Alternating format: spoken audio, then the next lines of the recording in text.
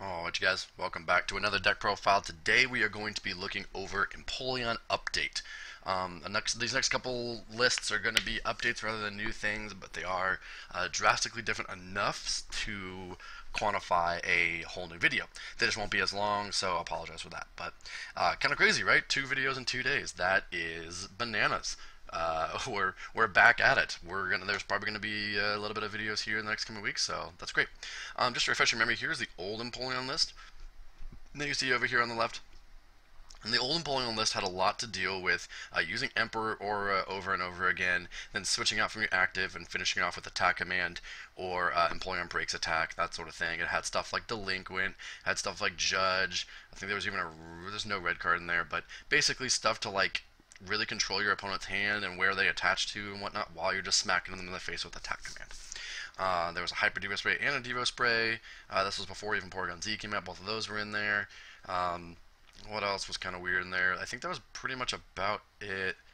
Yeah, the delinquent was like the big one, because you could delinquent someone and then supreme command uh, the, the, remaining cards in their hand away, so they just didn't have any cards in their hand. They were only on top deck mode.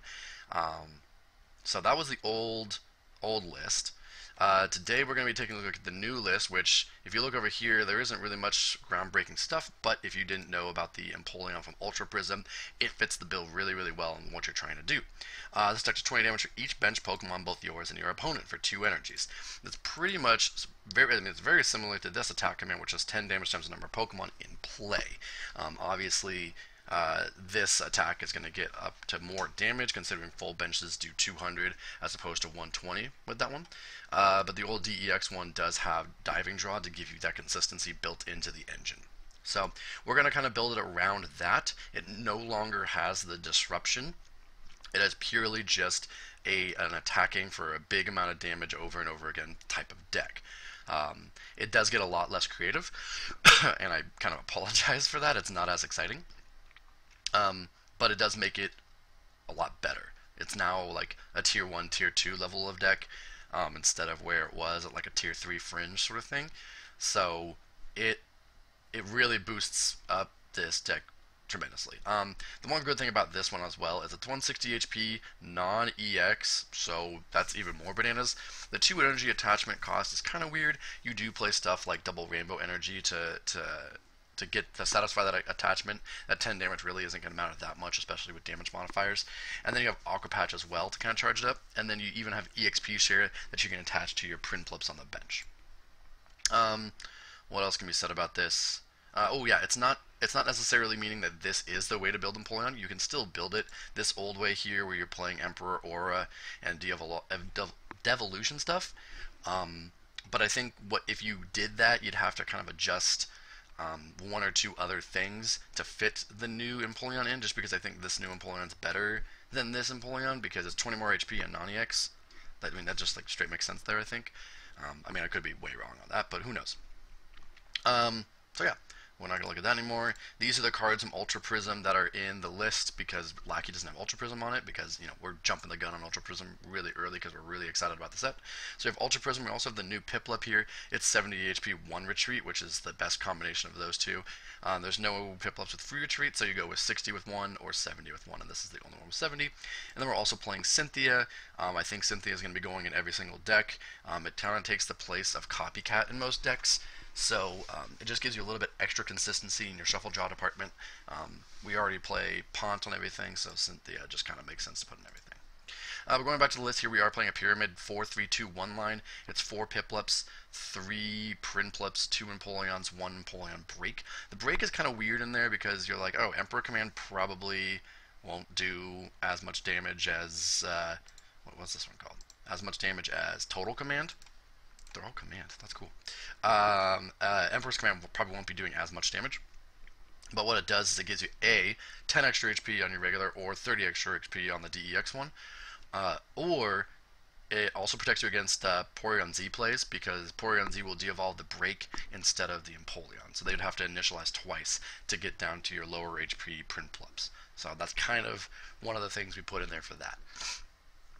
Uh, Pyramid Line also gives you access to putting EXP, EXP share on your Prinplups, so that if you're one of the, like the Empoleon that you're attacking with, the total command one gets knocked out, you can EXP share down to it and attach, uh, leaving less room that you need for Aqua Patch. So helps your lines out there. Um, the other thing it also gives you is four Piplups to work with, so that you can have more benched Pokemon, because there really aren't that many Pokemon in here besides your support Pokemon. Your bench is going to be mostly Piplups and support Pokemon.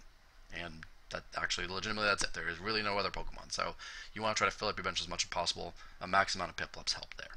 So everything else is pretty standard. You know, you have your Porygon line, your Claydol line. Uh, you have a Mime in here to protect against spread stuff. Um, just because you have an extra, you know, you have extra room in this deck because there's not very many, many Pokemon.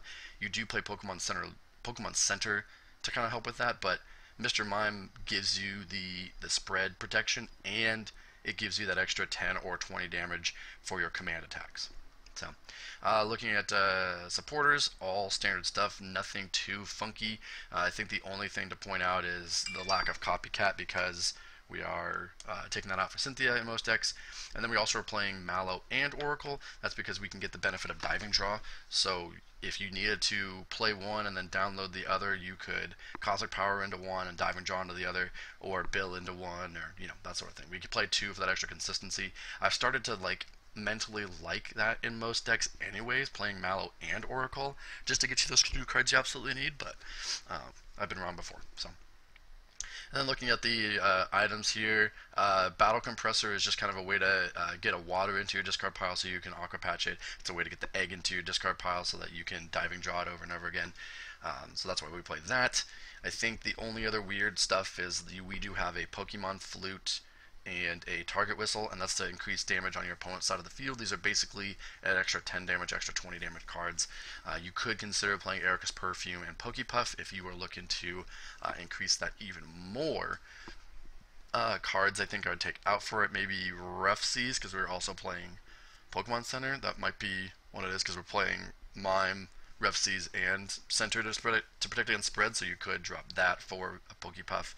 Um, and then maybe even Honestly, maybe even Brooklet Hill. I like Brooklet Hill for consistency, though. So maybe Battle Compressor. Who knows? There's there's another card you could drop. That this list is very very fluid.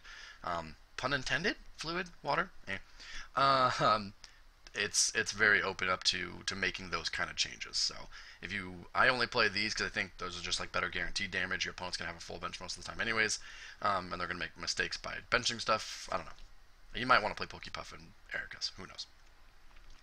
Uh, but outside of that, everything else is very standard. We are playing Switch. You normally don't see Switch. We just you just see like one escape rope and we call it good. But we're playing the Switch so that if you need to Aqua Patch to your active, you have Switch. So, um, but yeah, I think that's about it. If you have any questions on the update, please let us know. If not, hope you guys have a great rest of your day.